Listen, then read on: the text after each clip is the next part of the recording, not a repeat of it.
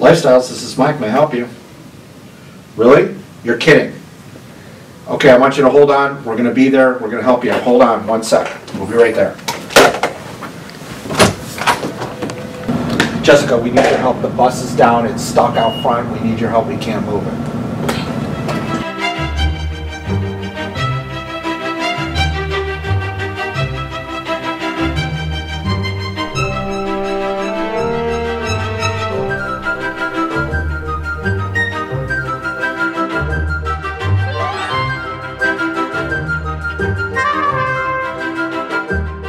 Hey Fred, sit tight. Don't worry, I got it.